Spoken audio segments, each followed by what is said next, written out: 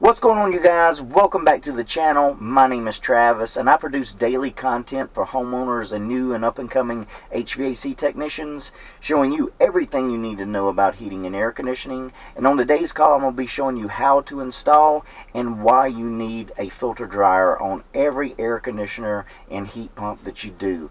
So if you want to see how I do it stay tuned and I'll show you how it's done.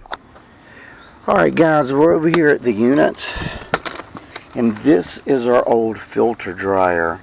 It's installed in the high side line at your outdoor unit.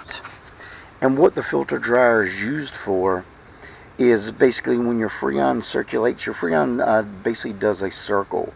It goes from your through your evaporator coil to your outdoor unit through your outdoor coil and then back up to your evaporator. And what the filter dryers for is if there's any contaminants or anything in that system, that filter dryer, the Freon runs through that filter dryer and it'll take out not all contaminants, but any particulates or anything that's actually in your heat pump or AC system. So basically this will run from our condenser, out of our condenser, into our filter dryer, and back up to our evaporator. So, and this really protects your metering devices.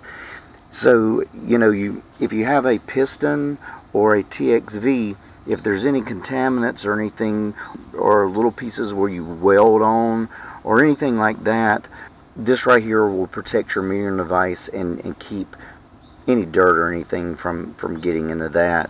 So that's pretty much what your filter dryer is for. So now you can see I've got the outdoor unit loose. Let's go ahead and replace this filter dryer and see how it's done. It's a pretty easy thing to do, but I'll show you. Alright, we're going to sweat this filter dryer out. And you've got two little connections on each end of your filter dryer. So we'll heat those up and pull the copper out.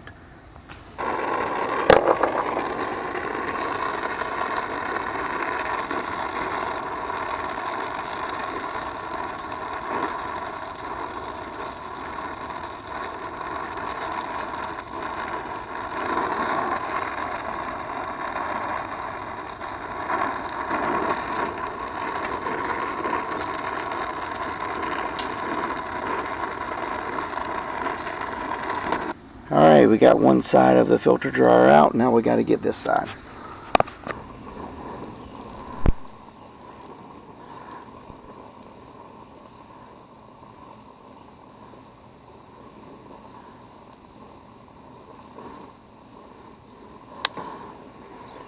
Alright, we got both both sides of our liquid line out.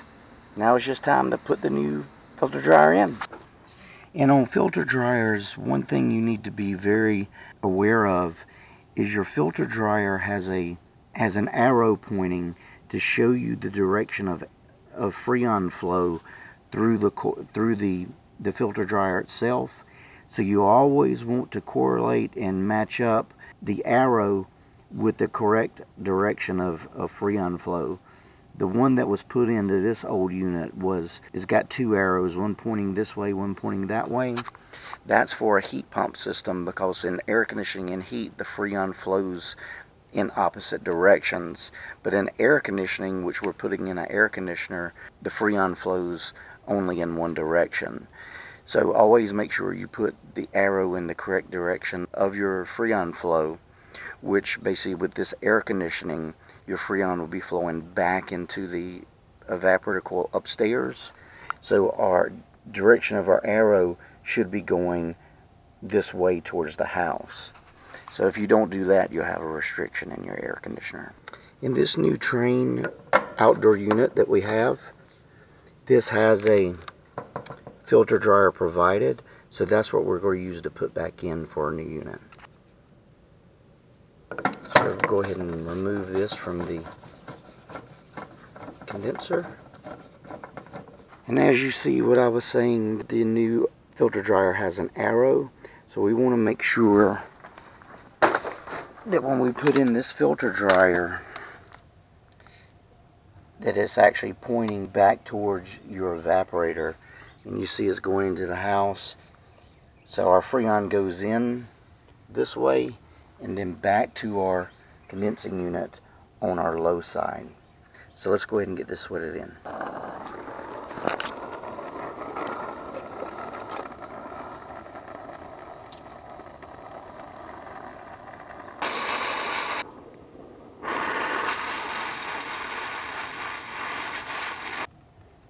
Alright, and here's our filter dryer all put in.